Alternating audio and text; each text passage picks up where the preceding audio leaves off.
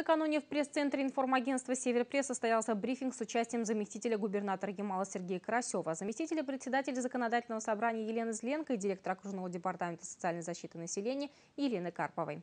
Они рассказали журналистам окружных и муниципальных средств массовой информации о механизмах компенсации по платежам за капитальный ремонт для льготных категорий населения. Подробности у Игоря Борисова. Буквально накануне депутаты Госдумы России в третьем чтении внесли изменения в жилищный кодекс, которые дают право субъектам Федерации расширить перечень льготных категорий граждан.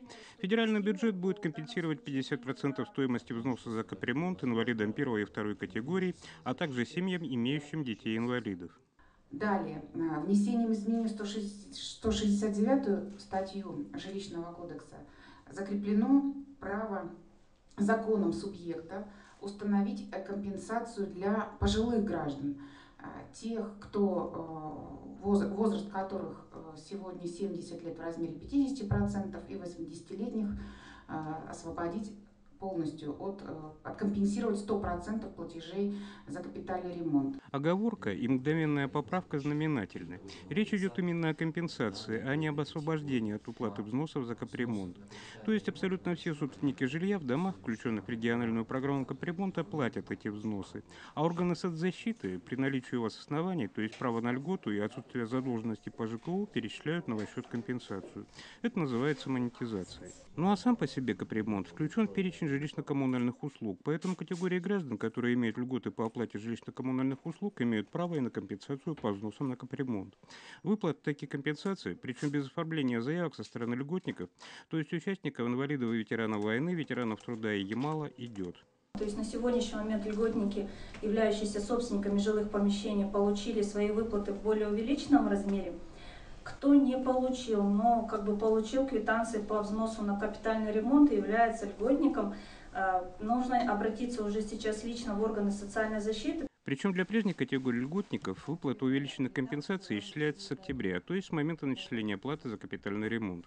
А вот для новых категорий, пенсионеров в возрасте 70 и 80 лет, одиноких или в семьях и совместно проживающих неработающих граждан пенсионного возраста, дело чуть сложнее. Во-первых, эти категории надо прописать в окружном законодательстве. Соответствующая работа ведется. Во-вторых, этим людям надо будет обратиться с заявлением в органы соцзащиты. В-третьих, выплата компенсации им будет исчисляться не с октября, ноября, хотя тянуть со всем этим никто не намерен. С учетом принятых поручений льгота будет распространена на 1 января 2016 года, и мы сможем, неважно, будет переходный период, когда гражданин может обратиться, и мы ему назначим как бы с 1 января 2016 года. То есть льготы по взносам за капремонт уже есть и еще будут, но сами взносы – это абсолютно обязательный платеж для всех собственников жилья в домах, включенных в региональную программу капремонта. Обязателен он и для собственников квартир в тех деревяшках, которые, по-видимому, будут исключены из этой программы ориентировочно в феврале. И только тогда он перестанет быть обязательным снимая обязанность по плате взносов на капитальный ремонт, это не исключает обязанности по проведению капитального ремонта. Просто схема финансирования капитального ремонта вот таких домов, она будет сохранена в прежнем варианте. А, путем проведения собрания собственников, путем а, взносов единовременных платежей за проведение капитальных ремонтов с сохранением мер государственной поддержки, как это было раньше в размере 85% за счет средств бюджета и 15% за счет средств собственников а, жилых помещений в квартирных домах. Тогда деньги со счета регионального оператора будут возвращены гражданам, проживающим в таких домах, на счета, которые они укажут в заявлении. Их можно будет потратить на те же цели, а строка «Капитальный ремонт» из ваших платежек исчезнет. Игорь Борисов, Кирилл Сементеев, программа «Время местное».